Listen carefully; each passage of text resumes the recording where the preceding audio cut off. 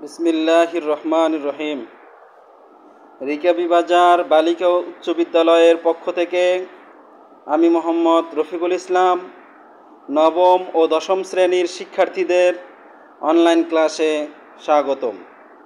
প্রিয় শিক্ষার্থীরা, আশা করি তোমরা সবাই ভালো আছো। আজ আমি তোমাদের সামনে যে বিষয়টি নিয়ে আলোচনা করব, সেটি হচ্ছে তোমাদের নবম ও দশম শ্রেণির ইসলাম ও নৈতিক শিক্ষা বইয়ের প্রথম অধ্যায়, পাঠ তেরো ও চোদ্দ নিয়ে। প্রিয় শিক্ষার্থীরা, আজকের আলোচিত বিষয়ের পাঠ শিরোনাম হল আখিরাত ও আখিরাতের জীবনের কয়েকটি স্তর। প্রিয় শিক্ষার্থীরা, শুরুতেই আমরা জেনে নিব আখিরাতের পরিচয়। আখিরাত অর্থ পরকাল। প্রিয় শিক্ষার্থীরা, আখিরাত শব্দের অর্থ পরকাল। আখিরাত কাকে বলে? মানুষের মৃত্যুর পরবর্তী জীবনকে আখিরাত বলা হয়। মানুষের মৃত্যুর পরবর্তী জীবনকে আখিরাত বলা হয়। মানব জীবনের দুটি পর্যায় রয়েছে, ইহকাল ও পরকাল। মানব জীবনের কয়টি পর্যায় রয়েছে? দুইটি। ইহকাল ও পরকাল। ইহকাল হলো দুনিয়ার জীবন, আর মৃত্যুর পরে মানুষের যে নতুন জীবন শুরু হয়, তার নাম পরকাল বা আখিরাত। প্রিয় শিক্ষার্থীরা, এ পর্যায়ে আমরা জেনে নিব আখিরাতে বিশ্বাসের গুরুত্ব। আখিরাত ইমানের অন্যতম গুরুত্বপূর্ণ বিষয়। প্রিয় শিক্ষার্থীরা, আখিরাত হলো ইমানের অন্যতম গুরুত্বপূর্ণ বিষয়। ইসলামী জীবন দর্শনে আখিরাতে বিশ্বাস স্থাপন অপরিহার্য। এ বিশ্বাসের গুরুত্ব অপরিসীম। আখিরাতে বিশ্বাস ছাড়া মুমিন ও মুত্তাকি হওয়া যায় না। আখিরাতে বিশ্বাস ছাড়া মুমিন ও মুত্তাকি হওয়া যায় না। আল্লাহ তালা এ সম্পর্কে বলেন, অবিল আখিরতি হুম ইউ কিনুন আর তারা মুত্তাকিগণ আখিরাতে দৃঢ় বিশ্বাস রাখে। প্রিয় শিক্ষার্থীরা, তাওহিদ ও রিসালাতে বিশ্বাসের পাশাপাশি আখিরাতেও বিশ্বাস করা অত্যাবশ্যক। আখিরাতে বিশ্বাস না করলে কেউ মুমিন বা মুসলিম হতে পারে না। পরকালীন জীবনের সফলতা ও জান্নাত লাভ করার জন্য আখিরাতের প্রতি বিশ্বাস স্থাপন করতে হবে। আখিরাতে বিশ্বাস না করলে মানুষ সত্য পথ থেকে দূরে সরে যায়, পথ ভ্রষ্ট হয়ে পড়ে।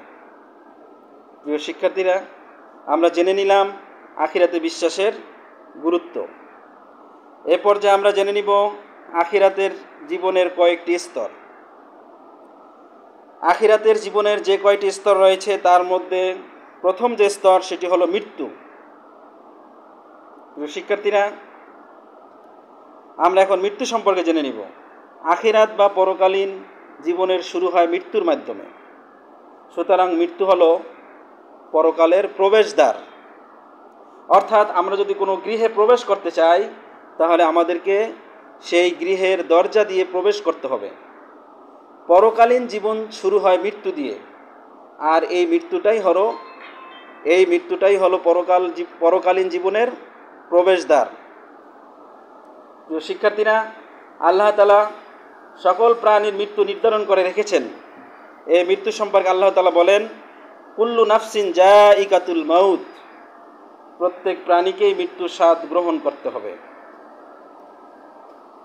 শিক্ষার্থীরা, আমরা মৃত্যু সম্পর্কে জেনে নিলাম। অর্থাৎ যার জীবন আছে, তার মরণও আছে। এরপর যে আমরা জেনে নিব কবর সম্পর্কে। মৃত্যুর পর থেকে পুনরুত্থান পর্যন্ত সময়কে কবরের জীবন বলা হয়। অর্থাৎ মানুষ মৃত্যুবরণ করলে তাকে যে কবরস্থ করা হয়, সে কবরে যতদিন থাকবে, কিয়ামত শুরু হওয়ার আগ পর্যন্ত যে সময়টা, যে কবরে অবস্থান করবে, সেটাই হলো কবরের জীবন। আর এই কবরের অপর নাম হলো বারজাক। প্রিয় শিক্ষার্থীরা, দুনিয়াতে মানুষকে মৃত্যুর পর কবরস্থ করা হয়। এ সময় মুনকার নাকির নামক দুজন ফেরেস্তা কবরে আসেন। তারা মৃত ব্যক্তিকে তিনটি প্রশ্ন করেন। প্রথম যে প্রশ্নটি করা হয়, সেটি হলো, মার রব বুকা? তোমার রবকে। অমা দিন উকা? তোমার দিন কি অমান নাবি উকা? তোমার নবীকে। প্রিয় শিক্ষার্থীরা, আমরা মৃত্যু এবং কবর সম্পর্কে জেনে নিলাম। এ পর্যায়ে আমরা কেয়ামত সম্পর্কে জানব। কেয়ামত আকায়েত শাস্ত্রে কেয়ামত বলতে দুটি অবস্থাকে বোঝানো হয়েছে। প্রথমত কেয়ামত অর্থ মহাপ্রলয়। আল্লাহ তালা এ গোটা বিশ্ব মানুষের জন্য সৃষ্টি করেছেন। তার প্রিয় শিক্ষার্থীরা, আল্লাহ তালা এ গোটা বিশ্ব মানুষের জন্য সৃষ্টি করেছেন আর মানুষকে তার ইবাদত করার জন্য সৃষ্টি করেছেন। কিন্তু এমন একদিন আসবে যখন গোটা বিশ্ব মহান আল্লাহর ইবাদত করার মতো কেউ থাকবে না। প্রিয় শিক্ষার্থীরা, এমন একদিন আসবে গোটা বিশ্বে আল্লাহ তালার ইবাদত করার মতো কেউ থাকবে না। এমনকি আল্লাহর নাম নেওয়ার মতো কাউকে পাওয়া যাবে না।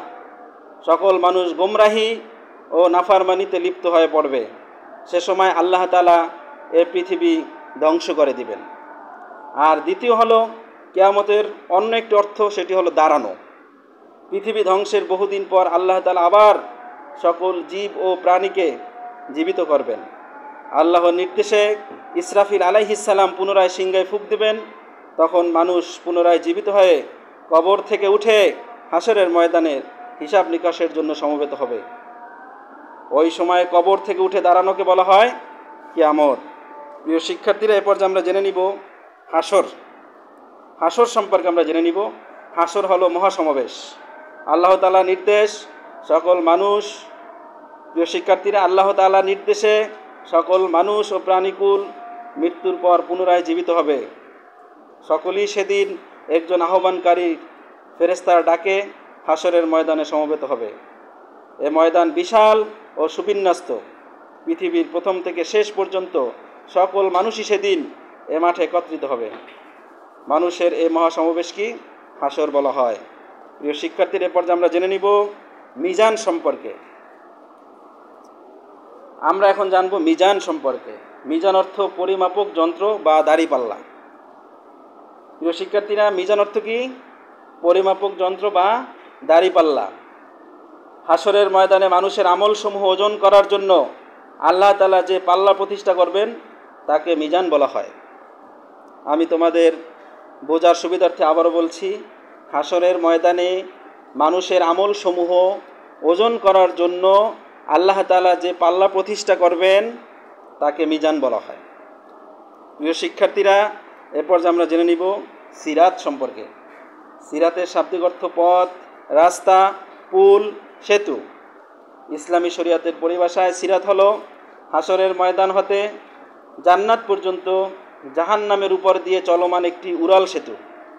প্রিয় শিক্ষার্থীরা, ইসলামী শরিয়াতের পরিভাষায় সিরাত হলো হাসরের ময়দান হতে জান্নাত পর্যন্ত জাহান নামের উপর দিয়ে চলমান একটি উড়াল সেতু। এ সেতু পার হয়ে নেক আমলকারী বান্দা জান্নাতে প্রবেশ করবেন। আখিরাতে সকল মানুষকেই এ সেতুতে আরোহণ করে, তা অতিক্রম করতে হবে। সিরাত সম্পর্কে পবিত্র কোরআনে মহান আল্লাহ বলেন, এবং তোমাদের প্রত্যেকেই তা অতিক্রম করবে। এটা তোমার প্রতিপালকের অনিবার্য সিদ্ধান্ত। প্রিয় শিক্ষার্থীরা এরপর আমরা জেনে নিব সাফাত সম্পর্কে। সাফাত শব্দের অর্থ সুপারিশ করা, অনুরোধ করা ইত্যাদি। ইসলামী শরিয়াতের পরিভাষায় কল্যাণ ও ক্ষমার জন্য আল্লাহ তালার নিকট নবী রাসুল ও নেক বান্দাগণের সুপারিশ করাকে সাফাত বলা হয়। আমি আবারও বলছি সাফাত শব্দের অর্থ সুপারিশ করা, অনুরোধ করা। ইসলামী পরিভাষায় কল্যাণ ও ক্ষমার জন্য আল্লাহ তালার নিকট নবী রাসুল ও নেক বান্দাগণের সুপারিশ করাকে সাফাত বলা হয়। কেয়ামতের দিন আল্লাহ তালা মানুষের সকল কাজকর্মের হিসাব নেবেন। তারপর আমল অনুযায়ী প্রত্যেকের জন্য জান্নাত বা জাহান্নাম নির্ধারণ করবেন। তখন মহান আল্লাহ পুণ্যবানগণকে জান্নাতে ও পাপীদের জাহান্নামে যাওয়ার নির্দেশ দেবেন। নবিরাসুল ও পুণ্যবান বান্দাগণ এ সময় আল্লাহর দরবারে সাফাত করবেন, ফলে অনেক পাপীকে মাফ করা হবে। এরপর তাদেরকে জাহান্নাম থেকে জান্নাতে প্রবেশের অনুমতি দেওয়া হবে। প্রিয় শিক্ষার্থীরা, এরপর যে আমরা জেনে নিব জান্নাত ও জাহান, জাহান্নাম সম্পর্কে। জান্নাত ও জাহান্নাম কি? শুরুতে আমরা জেনে নিব জান্নাত। জান্নাত অর্থ উদ্যান, বাগান সুবসিত কানন। ইসলামী পরিভাষায় পরকালীন জীবনে পুণ্যবানগণের জন্য পুরস্কার স্বরূপ যে আরামদায়ক স্থান তৈরি করে রাখা হয়েছে, তাকে বলা হয় জান্নাত। প্রিয় শিক্ষার্থীরা, আমি আবারও বলছি, পরকালীন জীবনে পুণ্যবানগণের জন্য পুরস্কার স্বরূপ যে আরামদায়ক স্থান তৈরি করে রাখা হয়েছে, তাকে বলা হয় জান্নাত। এরপর যে আমরা জেনে নিব জাহান্নাম সম্পর্কে। জাহান্নাম হলো শাস্তির স্থান। পরকালে মুমিনগণের জন্য যেমন জান্নাতের ব্যবস্থা রয়েছে, তেমনি পাপীদের জন্য রয়েছে শাস্তির স্থান। আর জাহান্নামই হলো সে শাস্তির জায়গা। জাহান্নামকে নার বা আগুনও বলা হয়। প্রিয় শিক্ষার্থীরা, আমরা জেনে নিলাম জাহান্নামকে কি বলা হয়? নার বা আগুন। সুপ্রিয় শিক্ষার্থীরা, এ পর্যায়ে আমি আজকে যে বিষয়টি নিয়ে তোমাদের সামনে আলোচনা করলাম, তার আলোকে বাড়ির কাজ। শুরুতেই তোমাদের জন্য রয়েছে কিছু জ্ঞানমূলক প্রশ্ন। আখিরাত শব্দের অর্থ কী? দুই, পরকালের প্রবেশদ্বার কী? তিন কবরের অপর নাম কি? চার, কেয়ামত অর্থ কী? প্রিয় শিক্ষার্থীরা, আজকের পাঠের আলোকে রয়েছে কিছু অনুধাবনমূলক প্রশ্ন। এক, হাসর হলো মহাসমাবেশ, কথাটি বুঝিয়ে বলো। দুই, আখিরাতে সকল মানুষকে সিরাত অতিক্রম করতে হবে, কথাটি ব্যাখ্যা করো। প্রিয় শিক্ষার্থী বন্ধুরা, আজকে তোমাদের যে বাড়ির কাজ দেওয়া হলো, তোমরা বাসায় খুব গুরুত্বের সাথে বাড়ির কাজগুলো মুখস্থ করবে এবং খাতায় লিখে রাখবে। স্কুল খুললে তোমাদের এই বাড়ির কাজের ধারাবাহিক মূল্যায়ন করা হবে। সবাই ভালো থাকো, সুস্থ থাকো। আসসালামু আলাইকুম।